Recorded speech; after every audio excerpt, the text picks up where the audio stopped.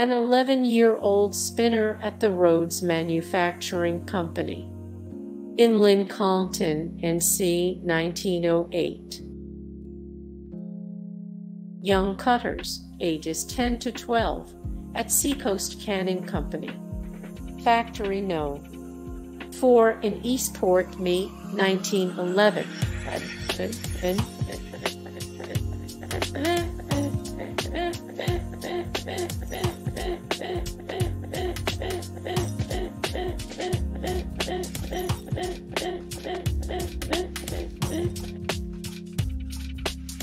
Young cigar makers at Englahardt and Company.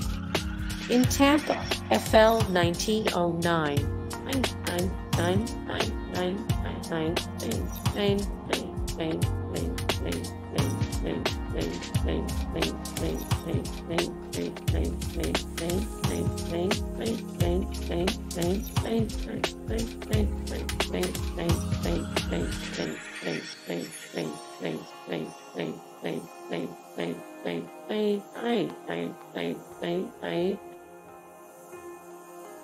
Young African American workers at the Alexandria Glass Factory in Virginia, 1911.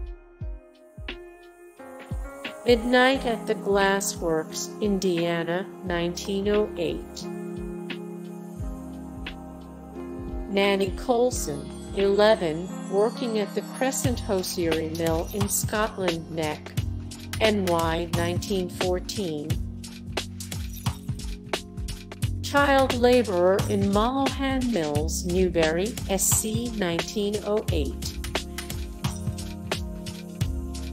Young workers at 9 p.m. in a glass company in Indiana, 1908.